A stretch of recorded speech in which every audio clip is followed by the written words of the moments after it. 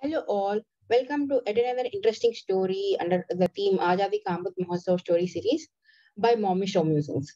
Today I'm going to introduce you to an interesting lady whom I like to call as the Queen of Steel Nerves, who uh, has survived and succeeded just because of her strong will and determination, despite the tragic situations and uh, around her. She is the queen who has built a huge bridge but got lost into the crevices of that very same bridge which she had built. Interesting, isn't it? Come on, I'm going to introduce you to Queen Prabhavati Gupta, who has lost, got lost in the bridges which she's built between two dynasties. Now, now, you're ask, uh, you must be thinking, what are those dynasties? Who, uh, why is this surname Gupta being added onto her original name, Prabhavati? Yes, I'm here to answer all your questions regarding that. Queen Prabhavati, or should I say Princess Prabhavati, was born as a daughter, uh, only daughter to King Chandragupta II of Gupta dynasty. We all know how famous Gupta dynasty is and how brave the warriors of uh, Gupta dynasty are, isn't it? we never get to hear any queens or princesses from that dynasty. Always uh, get to hear all the brave stories of the uh, various kings and uh, princes, isn't it? But this is one lady about whom the annals of uh, we, we are forced to uh, sit up and uh, take a note of from Gupta dynasty as the latest excavations that are happening currently in India are giving us more and more stories about her. Interesting, isn't it? Come on. Uh, I'll tell you a little bit about her before uh, we get into the real story. Prabhavati Gupta was born as the daughter of Chandragupta and uh, during her childhood in the internal uh, quarters of the Chandragupta uh, capital fort, she is known as a fierce independent princess who is, uh, I mean, known for her quick wit and determination. And unfortunately, despite all the positive uh, qualities that surround her, she is also used as a, one of the positions, uh, the prized positions of the Gupta dynasty, to uh, uh, so that they can uh, use her to expand their territories, gain more control over the uh, entire India, and establish their political alliances yeah, we all know that in history, most of the marriages, whether it's for boy or for the girl, marriages used to happen mainly because of the political alliances, isn't it? And she was, she also had to face the same thing. Prabhavati Gupta got married to Rudrasena II of Vakataka dynasty. Vakataka dynasty, yes. We would have heard about this dynasty in little uh, uh, a bit in our history books, as we didn't really read much about them um, maybe we would have heard about the wars between uh, Vakataka dynasty and uh, the Krishnadevarayas or some of the Kadamba dynasty or even Guptas, in fact. For Guptas, during 3, uh, 375 AD, that uh, most of the people, uh, I mean, uh, Vakatakas have become a thorn in their side because they, I mean, when, if at all if they want to expand their kingdom, they have to go and wage a war with Vakatakas, and Vakataka kings are really brave and uh, courageous enough to go and uh, hit the mighty army of the Gupta empires. So uh, our king Chandragupta II decided to forge a political marriage alliance with Vakataka dynasty so that they will not become thorns to him, but they can help him in his political aspirations. Wonderful idea at that point of time. So he got Parvati Gupta, Prabhavati Gupta married to Rudrasena II of Vakataka dynasty in 380 AD. Imagine now, she is born to a prince of a higher stature when compared to Vakataka king. So she's moving, when she's moving from maternal home to her uh, in-laws house or uh, the uh, court, courts of her own uh, husband, what are the feelings that, that would have gone in her mind, isn't it? She must be worried whether she will be getting the same treatment or the royal treatment there in the new um, uh, home Will she be getting all the luxuries or not? What will be her role? So that is the reason why Chandragupta had given her a huge entourage of people, may, pa, palace maids, uh, women friends, and a lot of other people and sent them along with uh, her to the new fort her, uh, where her husband was ruling at that point of time. That is the Nagardhan fort near to current Nagpur area. We all know that Vakatakas were actually uh, mainly concentrated in the Vidarbha region at that point of time, right? In around 375, 380 AD.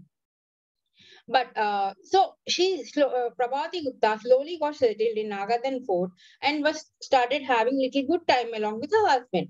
But unfortunately, her happiness was only there for a uh, very short time.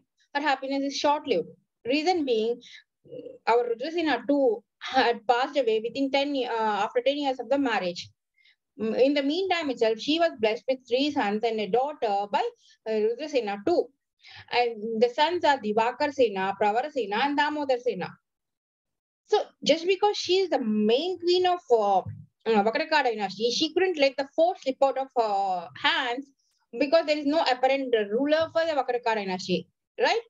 As Divakar Sena at that time has not yet reached the appropriate age to become a king.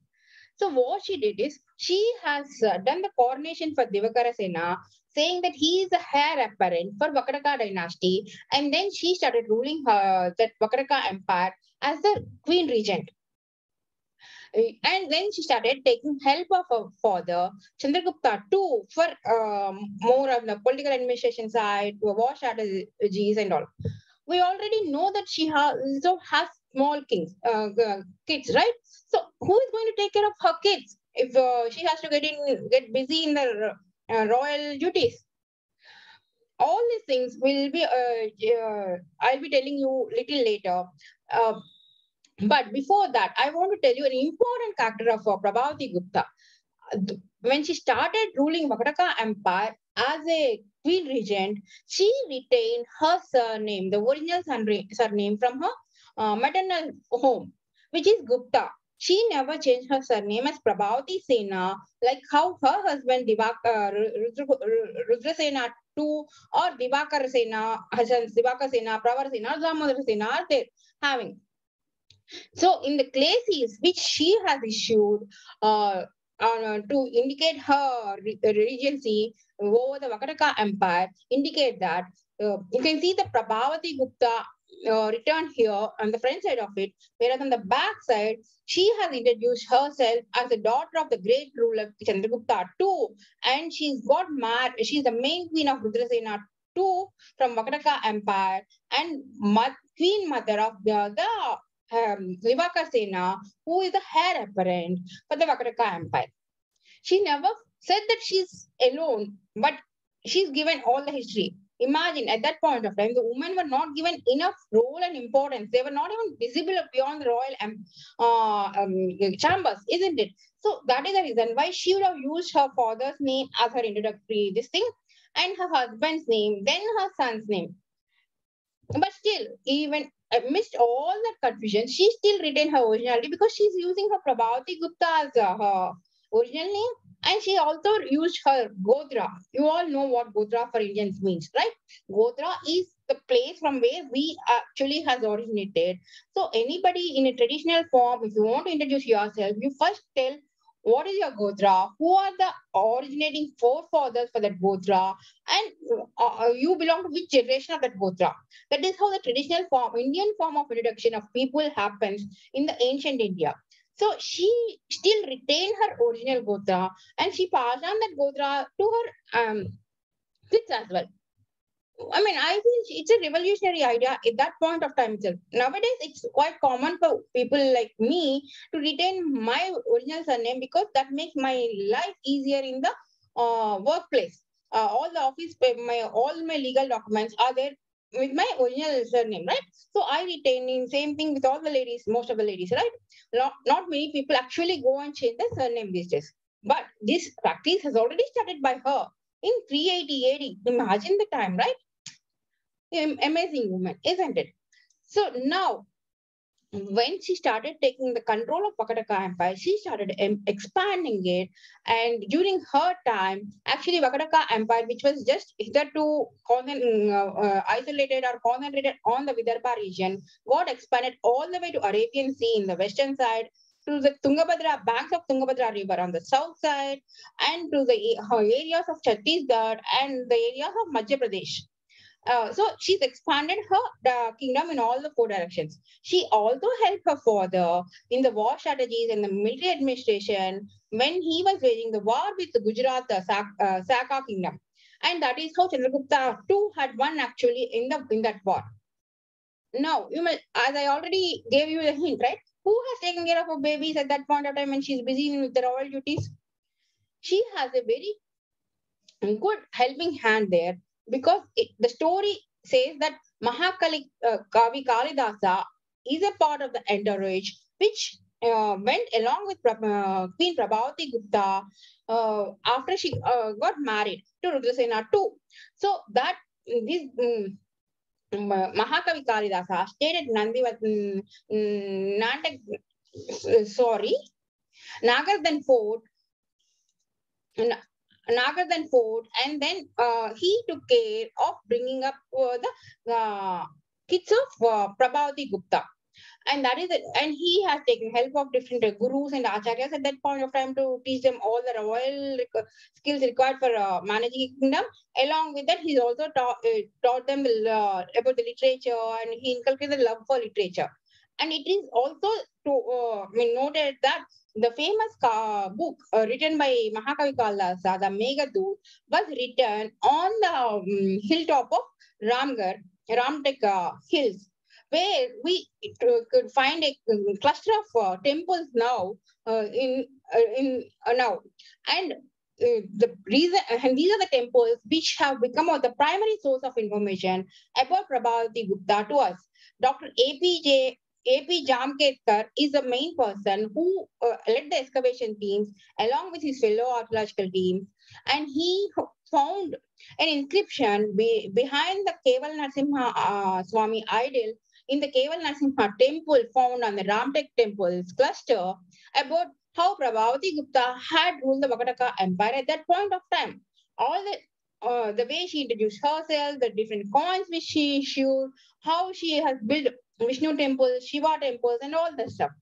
And there is recent excavations from 1998 onwards at Nandivardhana hmm, site near Nagpur, Ram, uh, then Ram, Ramtek temple clusters, and even the Mansar. Mansar is also again another important and interesting archaeological site, which is nearer to uh, Nagpur area once again.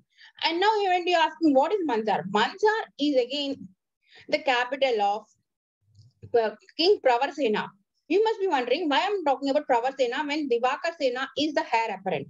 Unfortunately, by the time Divakar Sena reached 16 or 17 years, he had died of unknown illness. And then her second son, Pravarasena, had become the next king uh, of Vakataka Empire.